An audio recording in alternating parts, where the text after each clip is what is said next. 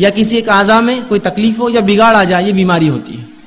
इंसानी जिस्म में मतलब पूरे शरीर में, पूरे जिस्म में, या किसी एक आज़ा में हाथ, पैर, सर, कान, नाक, मुँह, गला, उंगलियाँ, कुछ भी हो सकता है। किसी एक आज़ा में कोई तकलीफ़ हो या उसमें कोई बीमारी हो, इस चीज़ को या उसमें कोई बिगाड़ आ जाए या कमी आ जाए, इसे बीमारी कहा जाता है।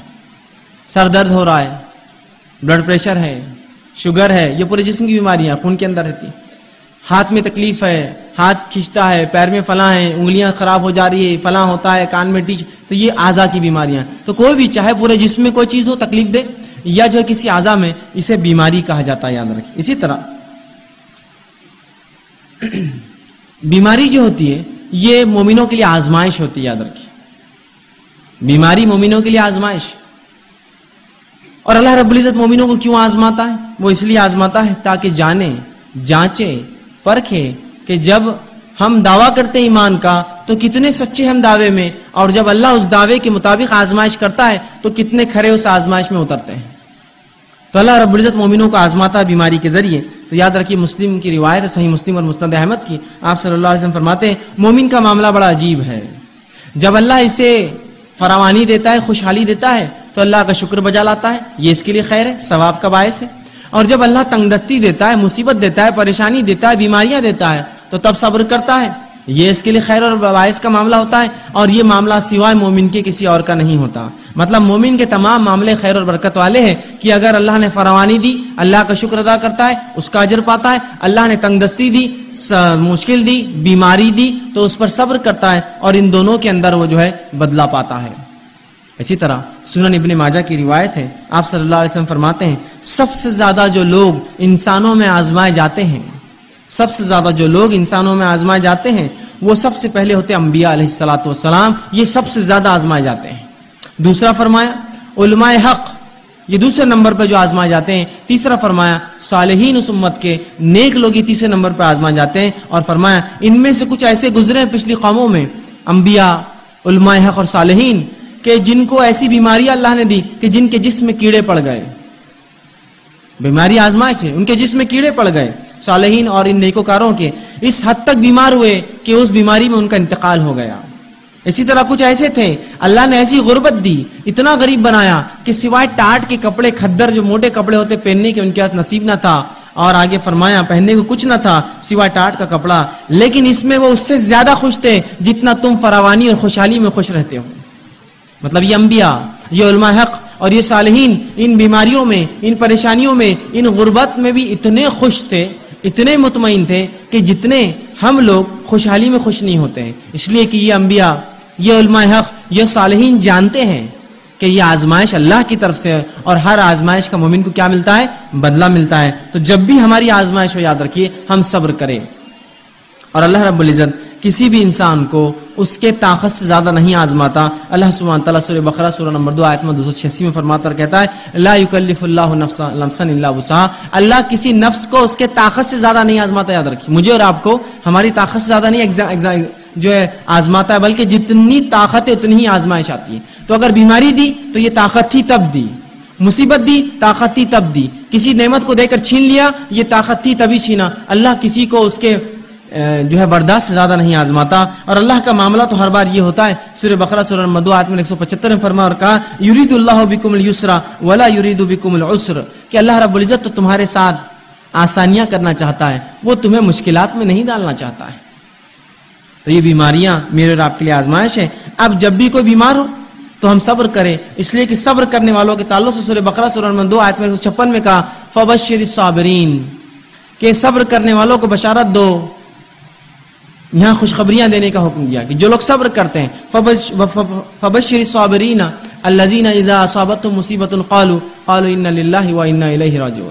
जो लोग मुसीबत जिन पर आती है और मुसीबत में सब्र करते हैं, इनको खुशखबरियाँ दे दो और जब इन पर मुसीबत आती है तो ये मोमिन कहते हैं, क़ालू लिल्लाहि व हम अल्लाह की तरफ़ से आए थे, इसकी तरफ़ लौट कर जाना है। तो हमें सब्र करना चाहिए। अल्लाह किसी को भी उसकी ताकत से ज़्यादा नहीं आजमाता। जब आजमाइश होती तो हमें सब्र करना चाहिए। आइए।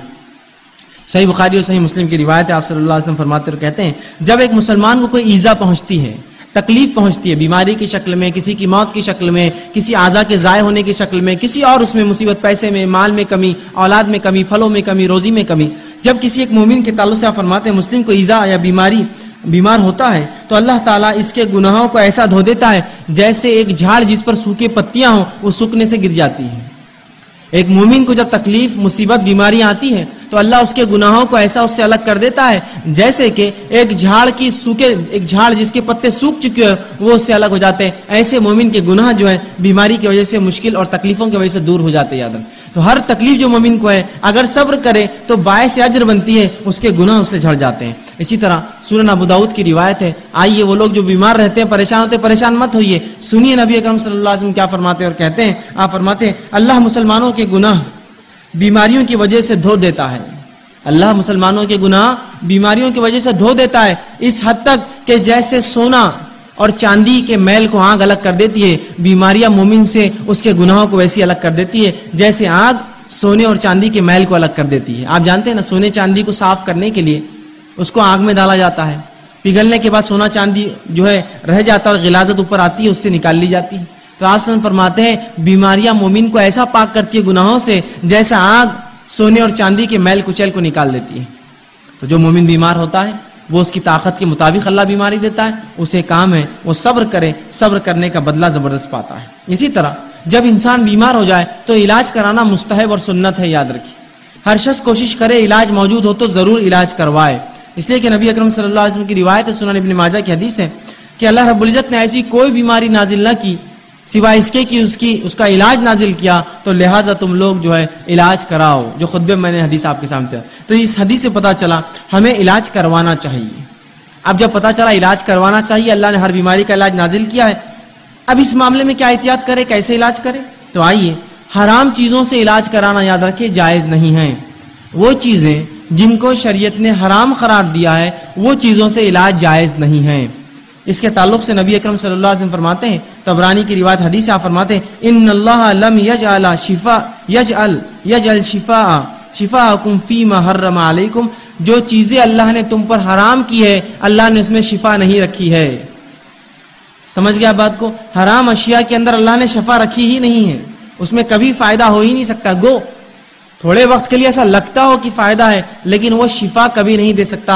इसलिए कि रसुल्लाह ने फरमा दिया, जिन चीज़ों को अल्लाह ने तुम पर हराम करार दिया है, इसमें किसी किस्म की शिफा नहीं रखी है। तो लिहाजा वो अशिया जो हराम है, नशे की चीज़ें हो सकती है, दीगर और चीज़ें हो सकती है जो शरीयत ने हराम करार दी। इनको करके हम ये ना समझें कि इससे फ़ायदा हो सकता है, इससे शिफा मिल सकती है। फिर चाहे बीमारी जो है, वो नफ्सियाती हो या जिस्मानी हो, याद रखिए। हराम चीज़ें करके शफा हासिल नहीं की जा सकती रसुल्लाह ने इसकी वजाहत कर दी। तो जब भी अब मुझे और आपको अगर हम बीमार हो जाए, इलाज करवाना है तो हलाल चीज़ों से इलाज करवाना पड़ेगा।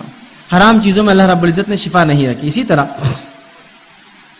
अब कोई शख्स बीमार हो जाए तो बीमार होने के लिए बाद याद रखिए, कुरान और हदीस से जो दम साबित है, जो पढ़कर फूकना चाहिए, दवा के साथ ये भी करना चाहिए। जहाँ हराम दवाओं का इस्तेमाल या हराम अशिया का इस्तेमाल दवाओं में दुरुस्त नहीं है, उसमें कोई शिफा नहीं है, उसी तरह ये बात याद रखिए कि इंसान कभी कभार बीमार होता है। बीमारी ऐसी होती है कि उसको जो है जहाँ दुआ की ज़रूरत है, वहाँ दवा और दुआ दोनों की ज़रूरत होती है, याद रखिए। आज बहुत सारे लोग इसकी गवाही देंगे। ऐसे बहुत सारी थेरेपीज निकली है, जिन थेरेपीज में यह होता है कि सिर्फ़ मरीज़ के आँख पर हाथ फेरा जाता है। सिर्फ़ हाथ फेरा जाता है, और इससे उसको फ़ायदा होता है। सिर्फ़ हाथ फेरते हो, आप जाइए उनके पास खाली हाथ फेरते हैं। जबकि नबी अकरम सल्लल्लाहु अलैहि वसल्लम ने अपनी ज़िंदगी में तमाम काम करके बता दी, आप लोगों के पास जाते उन पर दुआ पढ़कर दम करते और सहलाते उनको। वो आजा के ऊपर हाथ रखते जहाँ बीमार है। तो आज बहुत सी थेरापीज ऐसी बहरहाल डेवलप हो रही है धीरे धीरे अल्टरनेट मेडिसिन आएँगे मार्केट में, जिसमें यह है कि सिर्फ़ सहलाया जाए तो उससे फ़ायदा हो रहा है लोगों को। ठीक है तो लोग ये सोचते हैं कि खाली दम करने से, फूकने से क्या फ़ायदा होगा?